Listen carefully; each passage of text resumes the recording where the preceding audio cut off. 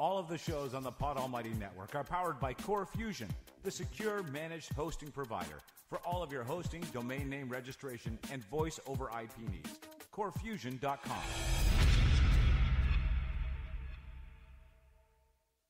This is how we do it. There has been an urgent message to the past sent from the future. It's Illusionoid. And it is real, man, but not really real. Available now at podalmighty.com. And you can subscribe on iTunes.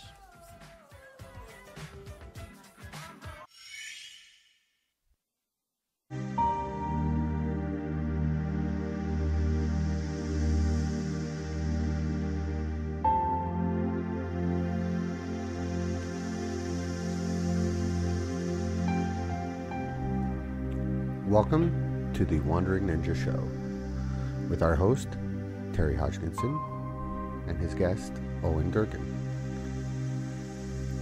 How you doing, Terry? Doing good, Mateo. Welcome to the show. Yeah, Glad to have you back. thank you. Um, so you have a special guest with you today, I do. um, a guy who's close to both of us Yes, and a big part of both of our lives. Uh, so maybe you could tell the people how you guys met. sure. Owen is a friend of mine for many years now, and uh, actually, I run a, a meditation group on Facebook.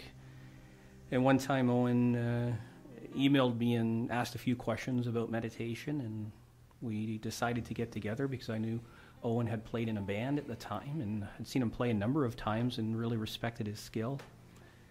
And so we got together and basically had a discussion about meditation. And uh, he asked me a few questions about it and perhaps the best way for him to approach it. And I said, Well, I've, I've got this technology, which we call the MindFit Neural Trainer. And I think this would be a good opportunity for you to explore uh, meditation with. And, uh, and that's basically how we met. And then over the years, we developed a really good friendship. And even though Owen lives in Africa, he comes back every once in a while here to uh, Toronto, Canada, and uh, visits us. And so I'd just like to welcome Owen to the show. Thanks for being here, Owen, as my guest today. I really appreciate it. Yeah, my pleasure. Thank you. And maybe you could uh, elaborate a little bit on your experience with the MindFit neural trainer and uh, whatever you want to say about it. Yeah, sure. Love to. Um, yeah, I would say that uh, I, I I always had a, a sort of a, a curiosity with uh, uh, meditation, and and as my my own interest sort of developed in in exploring that, um, you know, I reached out as you as you mentioned, and uh, wanted to find a, a way that I could incorporate, um, you know, some meditation practices into, into my own uh, routine. And, you know, I'm not uh, exactly, uh, you know, the most disciplined person in the world. So, uh, you know, to just sort of be left to my own devices would have been, um, you know, kind of a, a bit of a, an exercise in futility. So for me to actually have a, you know, the technology available that would actually help me to uh, sort of put myself in a, in a meditative uh, mindset and, and receive some of the benefits of, of meditation, you know, in that way. Um, and I've, I found it really, really helpful. Yeah, absolutely. And I'd just like to say that, you know, over knowing Owen for a number of years, when I first met Owen, he was just getting a position on a cruise ship. And he was going to be doing a, a, a sort of uh, six month tour and playing, uh, you know, music on this ship. And he was telling me the amount of things that they had to know in regards to being on this ship. And he says, "Well, today we had a fire drill, and then we had to learn, you know, this and do this, and everybody who was part of the staff had to have responsibilities. And uh, you know, at right. times it was a bit overwhelming. And I remember you emailing me a few times, and, and maybe you can talk a little bit about that because I remember some of our correspondence. Sure, yeah. Um, well, it, the what I did was uh, we did a, uh, a six month tour of the Mediterranean with a brand new group, uh, friends of mine that you know I've known and worked with uh, previously in the Persian Gulf years ago, but we'd sort of kind of gone our own ways and you know pursued our own you know musical adventures apart. So we had this opportunity to to kind of reunite and. It started with a uh, seven day crossing, I think six or seven days, uh, crossing of the Atlantic Ocean from Florida to uh, Southampton in England. And, uh, you know, I'm a nervous flyer, so you can imagine being out on the ocean uh, for seven days at you know at sea. Uh, you know, so yeah, anxiety, nerves, everything on high alert. You know, and that's sort of my nature, anyways. Uh, you know, I've always you know been predisposed uh, predisposed disposed to uh, to you know having uh, anxiety. I guess you would say, and compounded with the fact that uh, you know you're basically in school for two weeks when you when you become a staff member of a of a, of a cruise ship. You're you're whether you're, you're entertainment. We were guest entertainers, but you still have emergency duties on a, on a vessel. Mhm. Everything from basic firefighting to crowd control, security, etc. And uh, you know, so we're it was pretty intense. Uh, on top of that, um, having to learn, you know, maybe 120 songs, you know, live, you know, without a gig. net, yeah, Mhm. by the seat of your pants is like Yeah. you hit the ground running, right? And uh, so that and and you know the the uh, the crew quarters are not exactly the most spacious. So if you're at all claustrophobic, maybe that's not the lifestyle for you. It's you know, so yeah, I mean, I, I found this. Uh, the anxiety that I had struggled with previously, uh, sort of creeping back in, and at Right. that point, I'd I'd made the effort to, uh, or made the decision to, you know, really embrace uh, some of the, the the guided audio meditations That's and the right. MindFit technology. Yeah. And what I noticed was, uh, with practice, uh, and I- and I kept it up for the entire cruise. You know, it wasn't just during the uh, the, uh, the the crossing portion of our or of the voyage there. You know, um, It was something you did on a regular basis. Absolutely, yeah. Which is how meditation really should be. right? Yeah. It's so. Uh, oh, and uh, we've worked Yeah. together in the past too, and, and on a few things. But it's so weird, or, or to see someone like you talk about anxiety, really, because and, and Terry, maybe you can elaborate on this too. But I see him as such a courageous guy, like picking up, going to Africa, playing music in a strange country, or and uh, we work on some with you writing some some stuff, and um, I've seen you take on some pretty big, you know, giants in our world, and uh, I would never think, I would never think that. And it's strange how the mind works, right? Like, this is this is a huge misconception that when you see people who are really good at what they do, right. you know that they have anxiety totally under control. As a matter of fact, a lot of times people who are high achievers mm-hmm. and high performers have gotten to be that way because the anxiety has pushed them to actually master certain things in their professional life. But it doesn't necessarily mean that they they've mastered the anxiety. Right. So it's kind of like, uh, you know, fear, flight from fear. Or, Yeah, know, yeah, so we- we You're so scared of it that you. Fight or yeah, a lot of you know. I have a, a really good friend who is extremely successful in the real estate business. She lives in Costa Rica, uh, for sure a billionaire. But most of her advancements in her career have come from fear, in relation to pushing and always being a better achiever and a better business lady and a better you know sort of Right. entrepreneur. So a lot of times people will get to these highly professional levels in our society and everybody looks up to them and says, "It's amazing because all these things this person does, they how could they have anxiety? How could they have uh, lack of confidence in certain areas? How could they have all these things that you and I might experience on Right, right, yeah. But you know what? People are people Yeah. and people have these things that need to be worked out.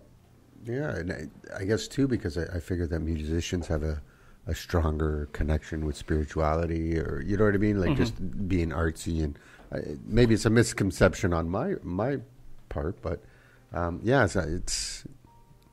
I'm glad you came in today. I'm learning. I'm learning, Yeah. right? Me too. And that's very true. No, I mean there are certain levels that you find that you, you know, I can function on. Um, you know, you just get into a flow, and you know, I mean, I could be on on stage in front of, you know, uh, forty people or four thousand people, and I really don't care. It's the same five drums in front of me, and you know, it's the, the, the, I'm going to do the same job. Um, But then you, yeah, but then you know, in other situations, for example being on a cruise ship and I was there were there are times I I thought I'm going to freak out. I'm not going to be able to handle this just because of the anxiety Right, right. just creeps up on you and you know and and it can uh, it can be overwhelming at times. So- Absolutely. So So, how was our wandering ninja friend? able to help you? Well, the main thing with Terry is, um, uh, you know, he was a, a fan of uh, uh, of uh, one of the bands that I played with. Can I name the band? Yeah, It's sure, yeah. Band called Sonny Boy Mick. It's a dear friend of mine uh, for I don't know, 15, Many, many 18 years, years. Yeah.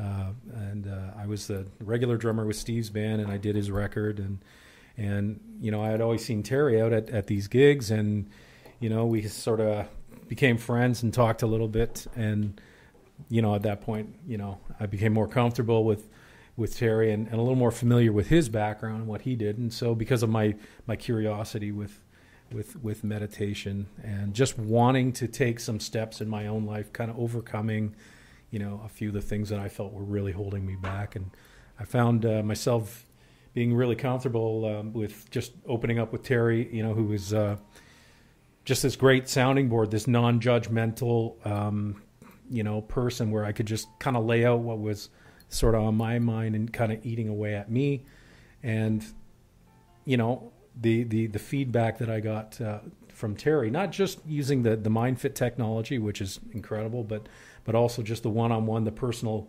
uh, coaching and and the friendship uh, as well. Um, and the other thing that I did, uh, I'd like to mention, is I picked up Terry's book, uh, Memoirs of a, a Wandering Ninja, and that was like, that's it's one of those books where you can you can refer back to that thing uh, every year. You could reread that and get it's like Right. it's like watching your favorite movie, and you can pull out one little nugget from that book that'll stick with you for weeks on end. You know what I mean? Like, so I mean, I I would say it was the the entire experience of using the MindFit technology of having uh, um, you know um, that sort of non-judgmental sounding board to just you know kind of dump some of the stuff that you can't always talk to your wife or your girlfriend or, or a family member or your buddies at work you know there's Right. there's just times where what you need is that person who you know um, you can deal with that uh, has the the background the the the experience and the wisdom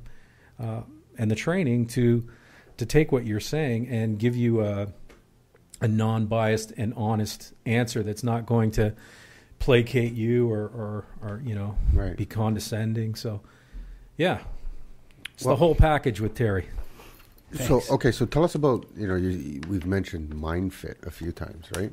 So maybe you could tell us a little bit about that, so the listeners can.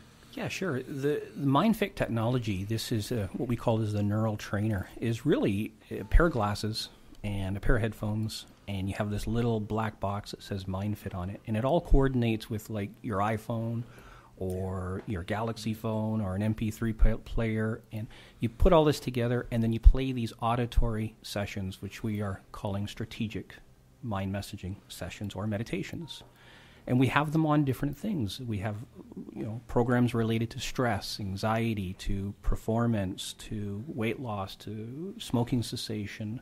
We have 30 different programs that people can listen to uh, for what it is that they need to listen to. And what it does is in this relaxed state of being, which we call as the alpha theta brainwave state. In between sleep and consciousness. You're just sort of hovering there relaxed. And these messages are being played and absorbed by a deeper part of your mind. Some people call it the subconscious part of your mind. Mm-hmm. This is the part that absorbs the messages. And then when you go out in your everyday life and you're doing the things that you need to do, you start playing these messages back. So instead of hearing old programming, such as I'm going to be nervous or I'm going to freak out or, you know, this is not for me, you're playing these new messages like, I can handle this. Mm-hmm. I'm going to do great with this. I'm breathing deeply, I'm feeling relaxed, and I am ready. And that's a whole different perspective than what you were running before in your mind.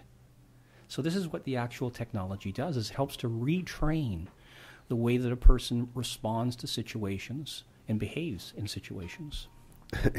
I've heard the mind described as a jukebox, where you get into a situation, and the jukebox sold situation number thirty-two. And thirty-two, they pick up the record, you put it on, and it starts playing that, and that's how your mind reacts. It reacts, Yeah. plays number thirty-two, and oh my god, this is really crappy. I, I don't want to get to get it out of here. And so basically, you're scratching that record or getting rid of that number thirty-two and putting a new record in its Exactly. spot. right? Exactly. Yeah. Okay. Cool. Um, what else Terry would you do besides uh, that type of therapy? What when you see someone come in with, let's say, anxiety, what, where do you want to get them right away? What what is something that? How do you attack it? As you know, I have a clinic. I have a coaching Right. clinic here in Toronto, and I see a lot of people and have over the last 15 years. Basically, the first thing I need to do is bring them to a neutral state because a lot of people come into me and they're overly anxious, they're overly worked up, and I need to get them to a balanced state. And the quickest way to do that is just to have them breathe and get in touch with their breathing so that they follow their breathing in and out, and that will bring them to a point where their mind is not racing. See, a lot of stress and anxiety just comes from the mind racing back and forth on different situations in our life, on what's going to happen tomorrow, what's going to happen next week, what's going to happen a year from now, or, geez, did I really do that in the past? Like, oh my God, you know, so you're either dwelling on the past or you're concerned about the future. And so you get this turmoil because your mind just keeps racing and all this stuff. But when you get in touch with just a simple exercise like breathing, you stop that you know, duality happening between past and future. And you come to this place called now. Here you are, Yeah, right now. yeah. And then from there, you can proceed to actually work with the mind and condition it in a way that's going to be more favorable more beneficial for you. Hmm.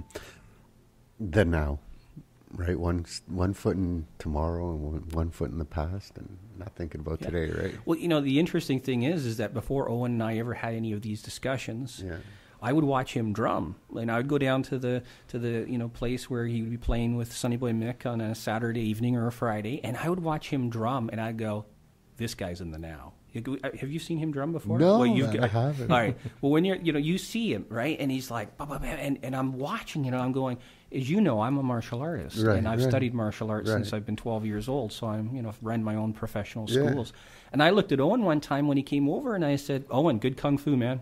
I remember that. Huh? What? he kind of looked at me strange, like, good kung fu? I said, yeah, awesome kung fu. Well, a lot of people don't know it, but kung fu actually doesn't mean martial arts. The actual definition of kung fu means an artist at work. It means a job well done. And that's what kung fu means. Wow, I didn't know. Yeah. Cool. Um, oh, and what's it like to pick up and uh, you, so now you have some tools from Terry, hmm right? Uh, you survived the boat. Yeah. You didn't throw anybody overboard or jump, right? No. So, um, and you pick up your life, man, and you're like, you know, you're my buddy, and we talk Yeah. a daily basis, and you're like, okay, I'm off to Africa. right? Like to, for Well, me, again, that's yeah. major anxiety. That's like I couldn't do that, man. but again, it's it's down to being able to be receptive to that whole concept of being in the moment and Right. in the now. I mean, the way it all started for me with Africa is uh, I was sitting at a at a coffee shop and pulled out my Facebook thing and forgot to turn the chat off, which I usually do. You know, otherwise you get flooded with stuff. And and then this message popped up from a, a musician that I'd known for a long time saying, "How would you like to go to Morocco?" I'm like, "Yep, I would."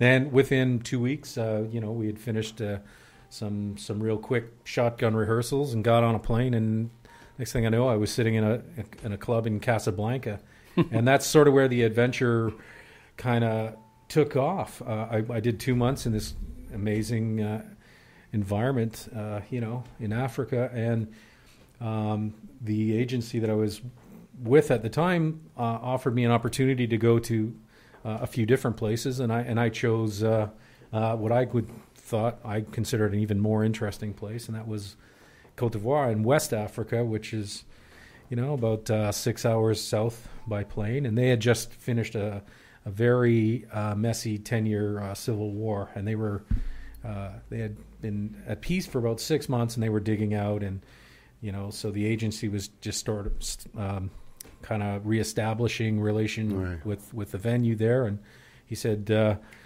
you're going to be a bit of a, of a guinea pig if you want to go over there. I said bring it. Let's go. And uh, so be, just being able to respond to um, opportunities that present themselves in a spontaneous way and and being in the now and and and instead of feeling anxiety or you know your mind racing and running all those old Right. old failure messages or uh, the, you know those kind of things i found myself uh, being how can i say it um, you know more challenged to to, to just uh, accept what was happening uh, with an attitude of of, of gratefulness and, and a sense of adventure.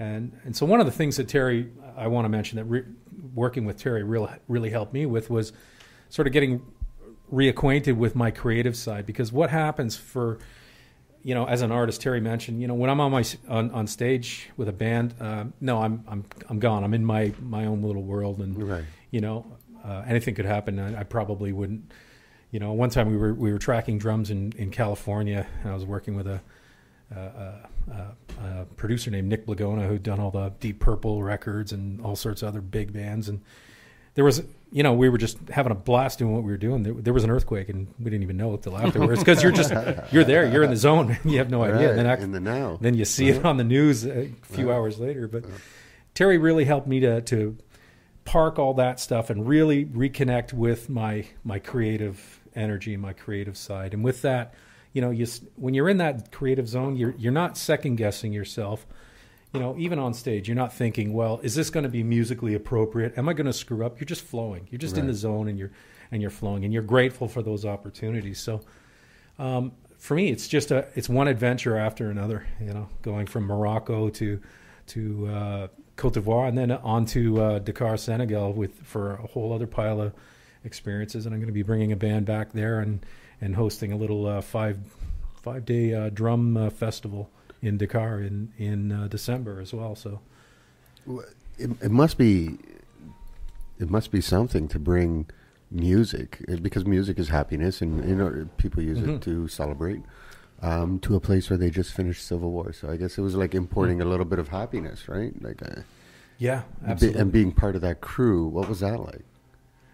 Oh, it was fantastic. Uh, the group that I play with there, um, it's well, I'm I'm sort of running. I'm the musical director. It's called the Syndicate, and the reason I chose that name is that, to me, the word syndicate represents sort of pulling influences from different places and putting them all together Right. to create one new common sort of thing. And that's that's sort of the process that we've been going through. So I'll I'll bring you know musicians from as far as New Zealand, or we got a singer from. Uh, Romania, from Transylvania last year, and another girl from Chile, and and a local musician, uh, a guy named Benny Will, who's a fantastic uh, vocalist. Who, you know, um, again, you just find yourself in these in these situations where, you know, you have a, you know, sort of, how can you put it? Lightning just kind of strikes Yeah. at the same place, you know, and, and you pull it all together, and and uh, and what goes off on stage when you get all these different influences from all these different people, it's just just incredibly positive. Yeah. What were um, what were the people? And I know I know you've Terry, you've traveled all over, right? Mm-hmm. Um, what were the people like?